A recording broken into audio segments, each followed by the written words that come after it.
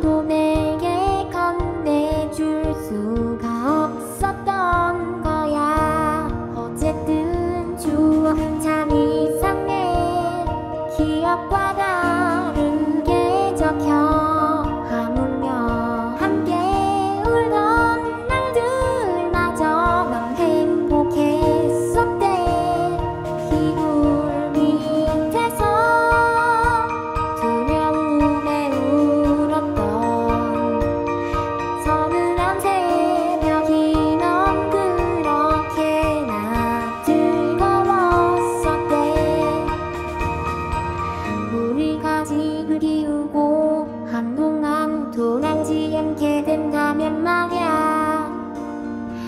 우리가 물을 마시고 빈 병을 그자에게 쏟든다면 말야. 우리가 원인점을 지나 그 헛간 바람도 내게 닿지 않게 되